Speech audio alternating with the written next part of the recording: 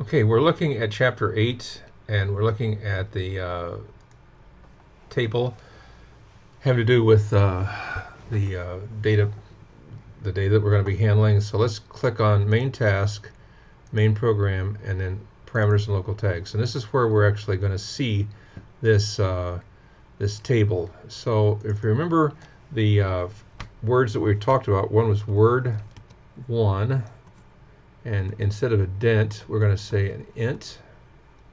You start typing int and it types it in for you. And the other one would be word 2 and that would be an int. And then we also had result. Result. And that would be an int. Okay and we also had the word um, twos int, and then we also had the word, uh, I think, carry. If you wanted to, you can use the word carry. You don't have to, but it was there if you want to. And then we had the bit. We're gonna, you could, we, you can define it anywhere, but we called it flip. That was a bool.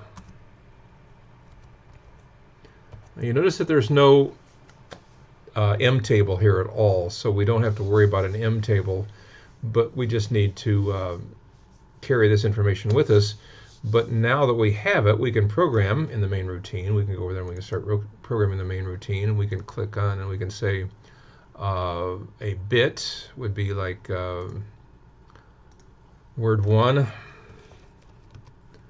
dot zero. That would be a bit in word one.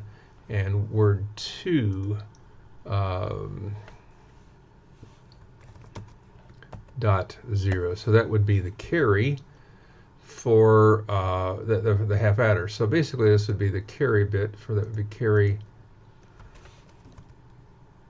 dot zero. So you can work this out as you want to, but you notice how that compiles. It's dot and then the bit, word dot bit, and you can pick these off and you can use them that way, and that's the way that you do the rest of your program as well. The only bool that you have was the word flip, although these were all booleans, but basically uh, the word flip was the only one that you'd actually carry. That would give you uh, a, uh, a starting point with the, with the uh, with a logic. So uh, while I'm not going to worry about this, I'm going to I'm gonna, I may show you this these two bits here, so it might we might actually do this little bit of programming, but you can do the programming. Uh, I do want to show you though how to download this and how to test this out. So you want to download this, and um, we remember we had a watch table before. We don't have a watch table anymore, but we do have a, uh, a data table. So the data table is a one-size-fits-all table, but it gives you all the ability to uh, to monitor and and um, and um, so let's go back and let's look at our um, at our, at our parameters local tags.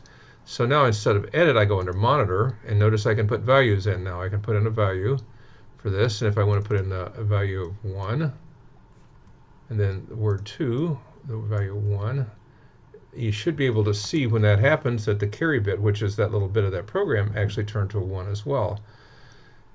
So I can put numbers in here. I can put 100 in here if I want to, or 101 or whatever.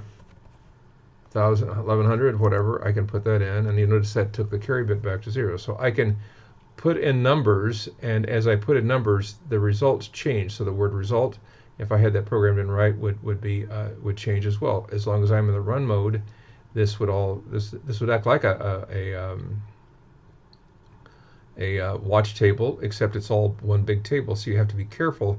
These words have to be grouped together so you can see them at the same time, or you have to group them so you can see them. That said, this is your this is your one size data table, and there you are. So that gives you the ability to uh, to monitor anything real time just by clicking on the monitor. But you have to do you have to go in run mode, go from edit to monitor. You edit and edit. You create the tags.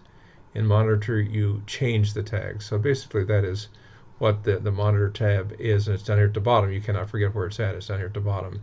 There are no glasses. You don't have to worry about glasses, but just key in numbers and watch the changes. So that's all you have to do with Allen-Bradley. Take care.